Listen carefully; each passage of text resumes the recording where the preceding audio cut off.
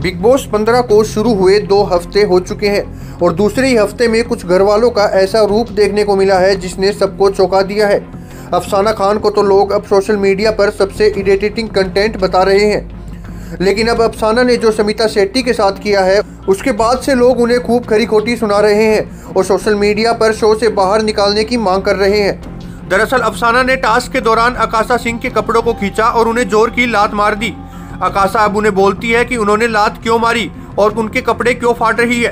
तो अफसाना कहती है कि उनका मन कर रहा था, इसलिए मार दी। यह अब समिता सुन रही थी और उन्हें गुस्सा आ जाता है। वह अफसाना के लिए कहती है कि वह कभी अपनी गलती नहीं मानती है।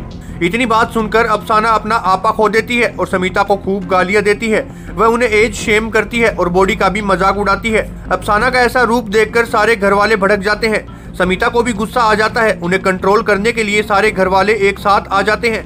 और जैसे तैसे संभालते हैं। अफसाना कहती है कि उन्हें शर्म आती है कि उन्होंने समीता को दी कहा था।